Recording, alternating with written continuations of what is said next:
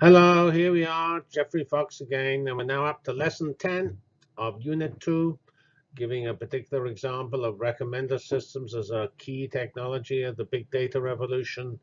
This is the Big Data Applications and Analytics course, uh, School of Informatics and Computing, Data Science curriculum, and we're, as I say, we're doing the course motivation, lesson 10, Unit, Unit 2, Section 1.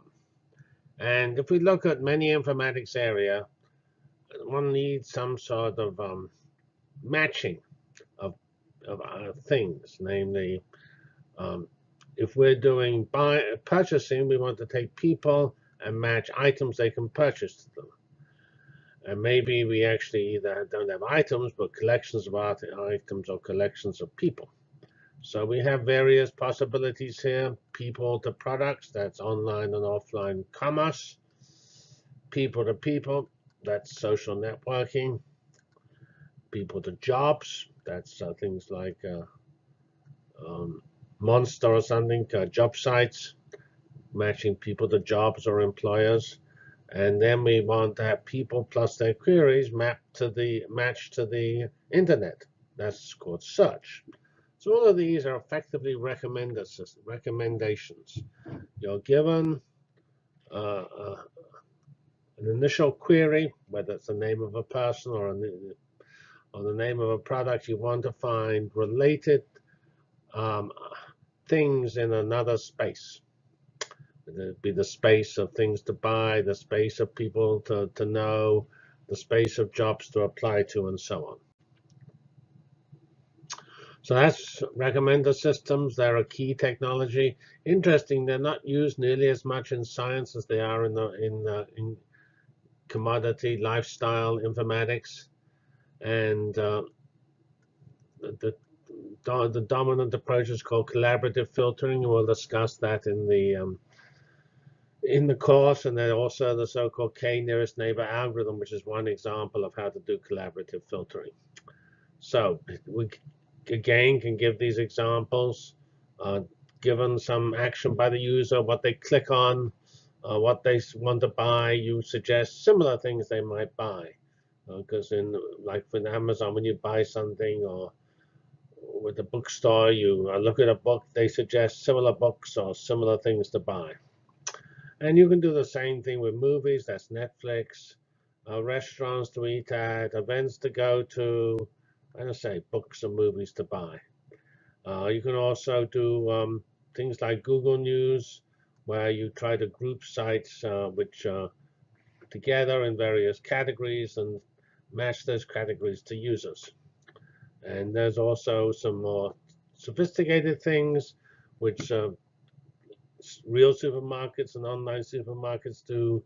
You decide on discounts based on um, information you have on what sells well and what's not selling and and that's again done by an analysis of existing habits.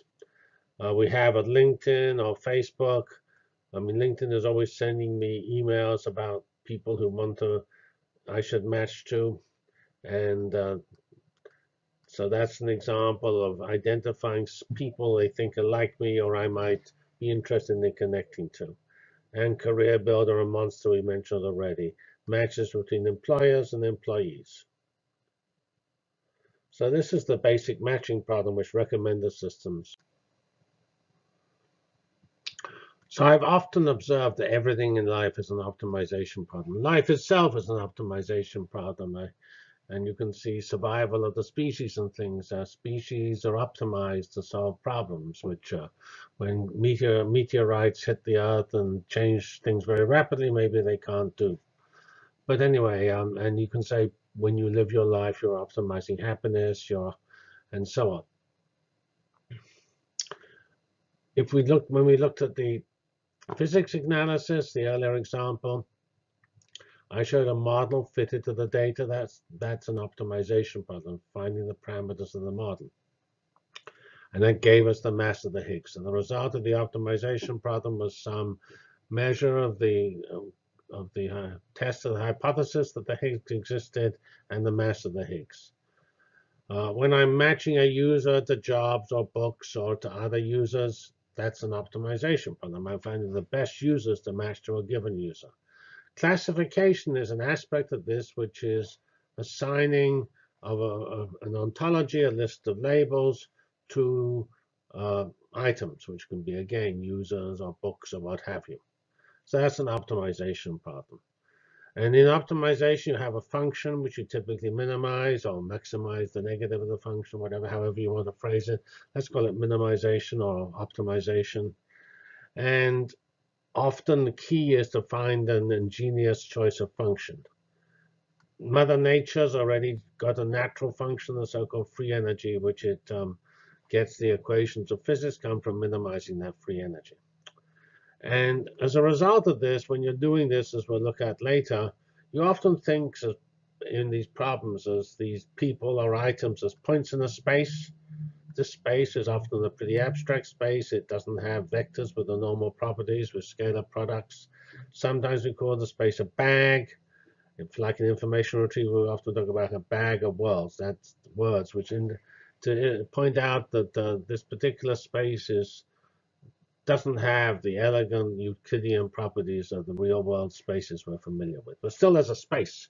And it's good to think of people as items and things as a space. Often this space has huge dimension. The number of books on items on uh, Amazon is huge, and therefore a particular items in is uh, so the when you what you find users interested in is a very large vector. So if we look at, um, here's a few slides from Netflix. Uh, and Netflix uh, says that everything is to do with recommender systems and everything is data science. And it has, it gives you, um, this comes from a tutorial they gave, which will go into more detail in the in the actual uh, course. And it gives recommendations in is uh, in, with rankings of things it thinks you might be interested in, and it does that uh, noting uh, perceptively whether you're a household or a user, or it does both together, uh, which is probably the most efficient. Because uh, obviously one's children are more interested and interested in different things than you, and so on. So this comes from Netflix. Everything is a recommendation. The ra the ranking is a recommendation. The rating is a recommendation. The row selection is a recommendation. The similarity and so on. And everything is done to make the user happy because Netflix's goal is to maximize the money it gets. Uh, that money it's getting is typically gotten from users staying on Netflix and ordering more movies, which they pay money to Netflix to download. So it's very important for Netflix that it makes good suggestions. And it has all sorts of information, the context, which is implicit, explicit, what the user actually watched, and also the mix thereof. And it's also reasonably important to know why you made the recommendation. Some of the methods are discounted because they don't tell you why they made it. They're so abstract. And we also need to be certain to be diverse, cover a lot of, um, you know, we have a giant space. We don't want to prove, put all the points in one space one part of the space, just choose science fiction. We may want to choose a note to the person, uh, that we love, love science fiction, also has other interests. And freshness. We don't always want to suggest the same thing. We need to have um, changes. Okay, these remarks come from Netflix. Well, you probably every every person reading these uh, lectures knows about Netflix. Uh, just to remind you about its amazing status, here we have some statistics. When I originally wrote this talk in 2013, uh, we were amazed by the 25 million or more subscribers.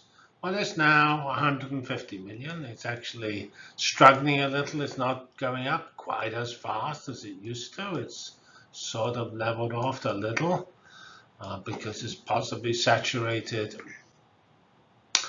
the uh, US market, and also finally big giants like Comcast and Disney and others are waking up and giving a run for its money. Uh, still, this pretty impressive note is actually more 60 million in the US and uh, uh 90 million internationally. So it actually has more outside the US than inside. As I say this, the uh, Chinese tariffs have gone on. I suspect Netflix is not subject to tariffs. I don't know. I, try, I wish it would be possible to update some of these numbers here, but uh, it is very difficult to get updates to these numbers like hours watched and ratings delivered and things like that. Notice the big data. These recommender engines are based on ratings. Well, even in 2012, if Netflix was getting 4 million ratings a day, well, now it's probably 50 million ratings a day. I don't know, something, some pretty large number, certainly 25 to 50.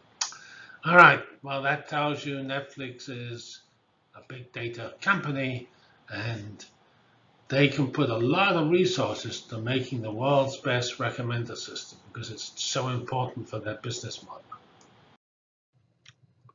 By the way, Netflix does all its computing on Amazon. All Netflix, the all Netflix is hosted on Amazon. They had this very famous competition, which was to improve their their rating ratings, and they gave a million dollars to the team that won it. This was in 2009.